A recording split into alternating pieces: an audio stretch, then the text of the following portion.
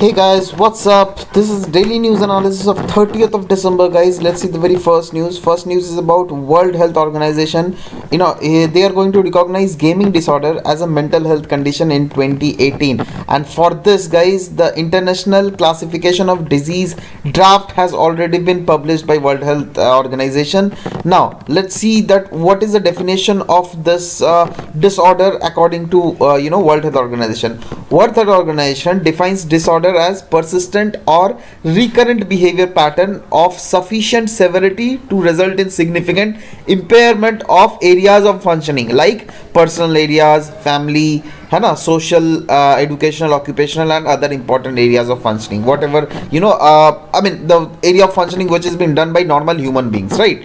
Now the disorder is characterized by impaired control with increasing priority given to gaming. I mean whatever be the situation even if the uh, you know the victim knows that what are the repercussions of gaming what are the repercussions of playing games on you know your mental health your physical health but then also they will you know play games all right.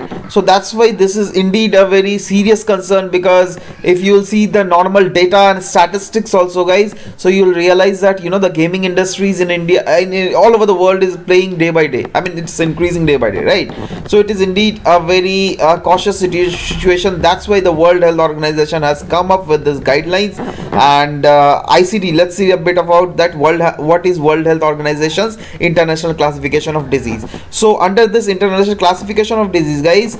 The international standard is set for various disease and health condition and as well as they does the identification of health trends and statistics. They collect it from the all over the world right? And it is used uh, again by the medical practitioners in order to set you know certain limits a certain upper limits that what are the limits under which you know a patient of a certain country will be recognized as a uh, you know victim of that particular disease right? So i mean it is indeed i mean it will it is it helps the medical practitioners around the world to identify that. Also also the world health organization's uh, international classification of disease uh, in, uh, encompasses both the mental as well as physical disorder right? And these are few of the you know objective type of question which can directly be made in you know prelims of your upsc examinations. So just remember all these things.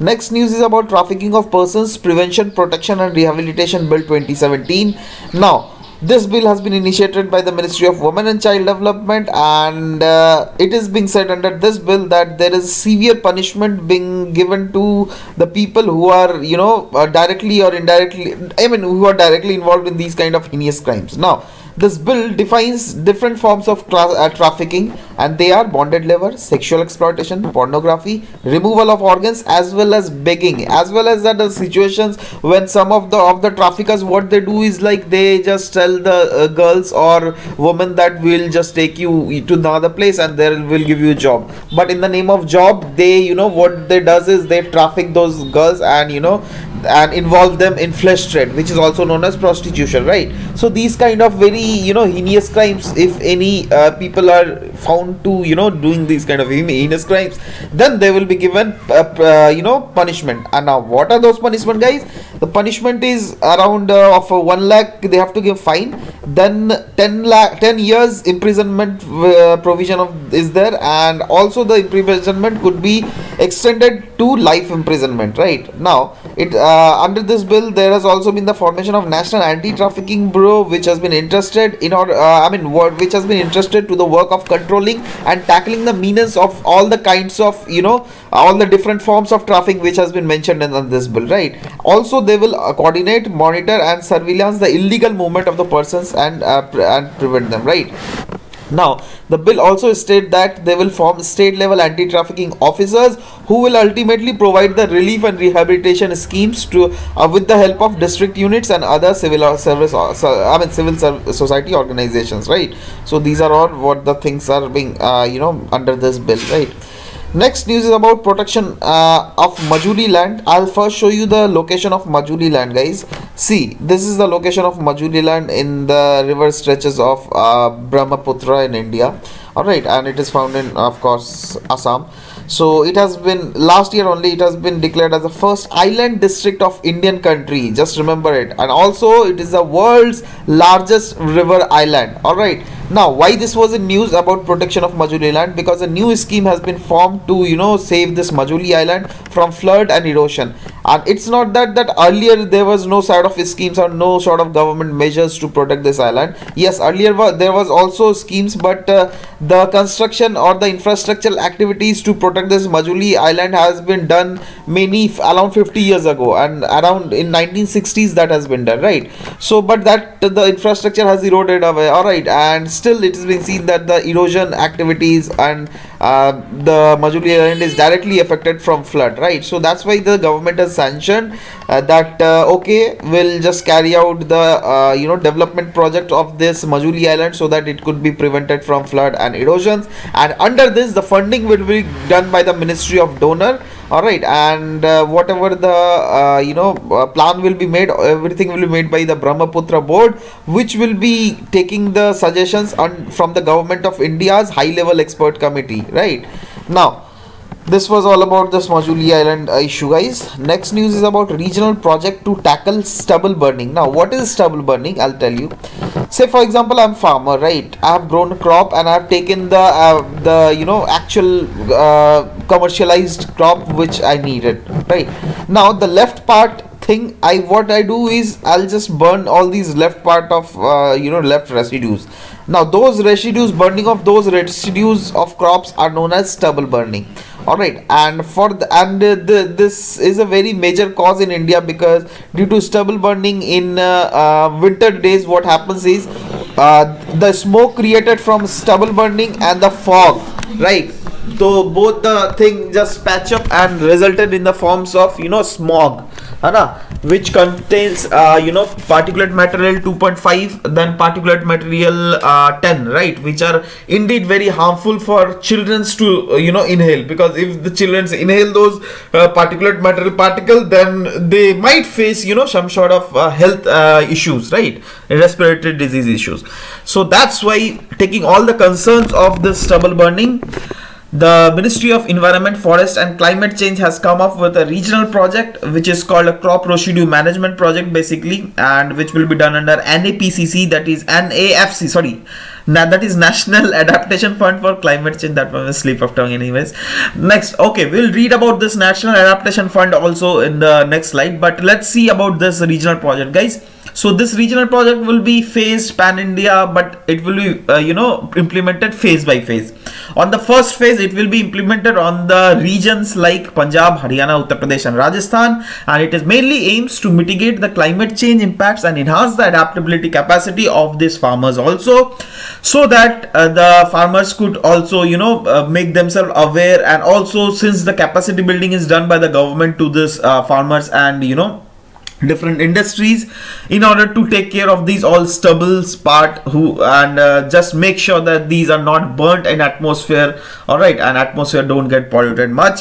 And uh, under this i mean in this article it was also written about te uh, technological interventions which will be done or which will be undertaken for time management of crop residues in addition to effective utilization of existing machineries.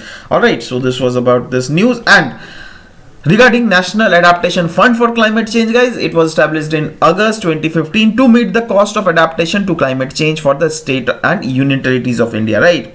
And the prioritization will be given to those projects which has been recommended by State Action Plan on Climate Change. And NABARD is uh, designated as the National Implementation Agency under the Kyoto Protocol of National Adaptation Fund for Climate Change, right? Next news is about garbage emergency. Actually, Bali has been declared as a garbage emergency because uh, there, I, I, mean, around the sea uh, nearby Bali, it was being observed that uh, uh you know many waste materials has you know uh, many waste materials have uh, accumulated in a certain place, right? Basically the western coast of this island. So basically the indonesian island of bali i mean the capital of indonesia it is jakarta right? But uh, yeah the indonesian island of bali recently declared as garbage emergency in response to the overwhelming amount of plastic waste. I've already told you that it uh, it has been plastic waste has been found in the western coast of this island. And there was around 3.6 mile stretch of uh, uh, this uh, plastic island right and which uh, and taking uh, this, this condition the administration of uh, Indonesia has declared an emergency zone.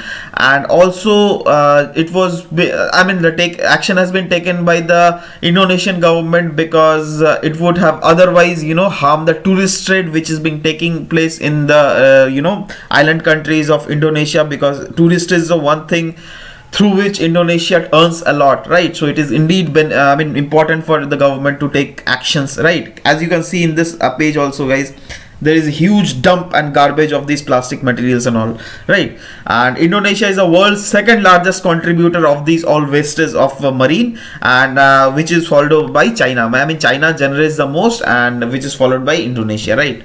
Next news is about India is yet to find a reason for darkenings of Siang. Now, guys, what is Siang? I'll tell you you know Brahmaputra river, right? So Brahmaputra river originates from Tibet. From Tibet to when it travels the whole stretch of China, it is known as Tsangpo river. That is T S A N G P O. All right.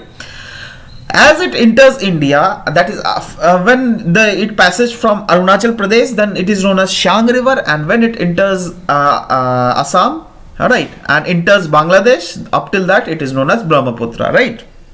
Now Siang river has been uh, before few days it has been found darkening. It has got darkened as you can see here. The in first before picture and this is afterwards picture in which, you know the dark nature of the Siang river has been found. Now many uh, analysts have analyzed that okay just because of China is constructing tunnel so that might be the reason you know uh, that China is constructing tunnel to uh, divert the water of river Brahmaputra to their own region so I mean the, this is the, the allegations from the Indian side to Chinese side. But Chinese side have totally said that no allegations are totally baseless and we are not constructing any sort of underground tunnels, right? But uh, this is the natural phenomena and we, we we don't know what has what is the reason behind it, right?